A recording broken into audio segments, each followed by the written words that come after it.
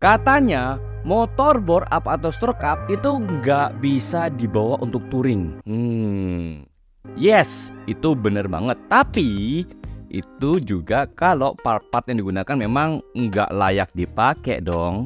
Di sini aku buktikan ya dengan motorku sendiri, Yamaha NMAX tahun 2015 ya, yang bisa dibilang generasi pertama, itu sudah menggunakan bore up kurang lebih dua setengah tahun dan stroke up satu tahun. Ya itu dari merek TDR udah pasti dong yang berkualitas. Dan itu aku juga sudah buktikan ya dengan perjalanan touring gak cuman di Bali tapi sudah ke Lombok maupun juga ke Surabaya. Perjalanannya pun juga memang bukan siapa yang tercepat ya alias ngebut-ngebutan tapi bagaimana caranya membuat irama motor itu tetap konstan Lalu larinya juga berirama dan pastinya BBM-nya juga terjaga. Sehingga mesinnya pun juga bekerja dengan baik ya dan pada suhu yang optimal. Kalau dibilang durasi perjalanannya ya bisa dibilang kalau ke Lombok itu kurang lebih mungkin 2 jam sampai 3 jam atau 4 jam ya. Dan yang memang yang agak lama itu adalah di Hmm, kapalnya ya yang start 5 sampai 6 jam tergantung kapal yang didapat. Tapi kalau perjalanannya ke Surabaya itu kurang lebih sekitar 12 jam ya. Itu sudah termasuk dengan penyeberangan kemudian juga istirahatnya beberapa kali ya. Karena aku dan adikku itu kena microslip ya. Jujur aja karena perjalanan kita itu dimulai jam 2 pagi dan sampai di Surabaya itu jam 2 siang ya. Kurang lebih lah 12 jam. Bahkan ya aku di Surabaya pun itu sudah sempat yang namanya keliling-keliling. Ya memang nggak semua Surabaya ya tapi lumayan lah untuk aku coba untuk speeding-speeding itu masih juga oke okay.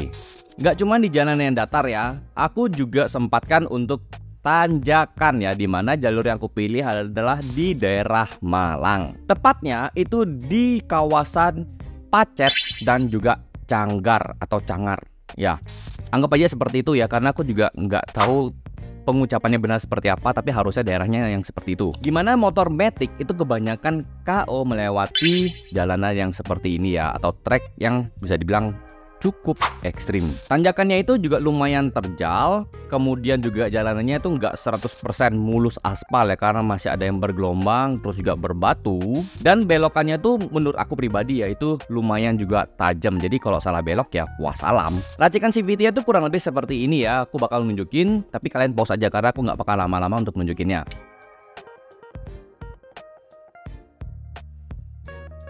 dan juga didukung dengan mesin seperti ini.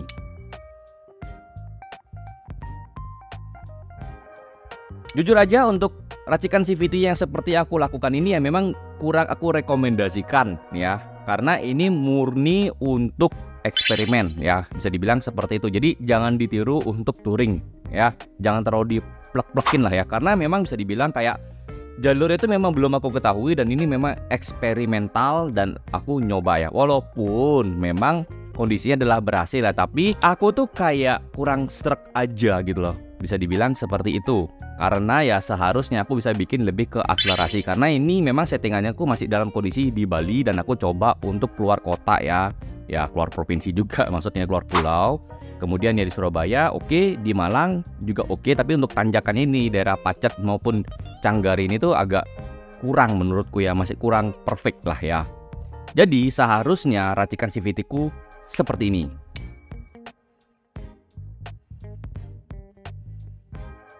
Perbedaannya itu pada sliding shift dan juga gear ratio-nya ya di mana seharusnya sliding shift itu aku pakai di mode akselerasi dan gear ratio-nya aku pakai yang lebih ringan ya atau yang karakternya adalah akselerasi. Begitu ya. Jadi untuk teman-teman yang motor yang sama seperti aku atau yang kurang lebih menggunakan part-part mirip seperti aku ya bisa aja seperti itu ya Kecuali kalau motor kalian itu standar, ya gunakanlah Persivity dan Persentrinya yang 1000. Jangan pakai 1500 seperti aku, karena kalau aku kan sudah bore up plus stroke up, jadi ya nggak ada masalah di bagian pirnya itu. Tapi kalau kalian yang standar, wajib pakai 1000 dan 1000 pada Persivity dan sentrinya. Hahaha. Jadinya dengan racikan CVT ku dan didukung dengan mesin yang sebesar itu ya, jujur aja ya udah oke okay banget apalagi kalau aku memakai yang seharusnya ya yang tipe full akselerasi ya itu bakalan lebih oke okay lagi tapi kalau kalian yang mesin standar itu pastikanlah juga ya part-partnya gunakanlah yang standar aja ya standar dalam arti gunakanlah yang seribu seribu aja ya ringan-ringan aja Dan pastikan juga ya untuk mesinnya itu walaupun standar harus sehat supaya perjalanan kalian itu juga pastinya oke. Okay. Sampai pulang di Bali ya dari bore up, stroke up, kemudian CVT itu tidak ada kendala sama sekali. Dan aku hanya perlu mengganti olinya aja dan lakukan servis di CVT alias dibersihkan aja. Kemudian di part-part lainnya ya seperti pengereman juga aku bersihkan ya karena memang kan ya kalau udah namanya touring pasti bakalan kotor banget gitu loh. Dan juga ya karena sudah dipakai untuk dihajar touring ya jadi ya sudah pasti motorku kan tanda kutip capek ya. Sudah pasti aku bakal istirahatkan dulu untuk beberapa hari.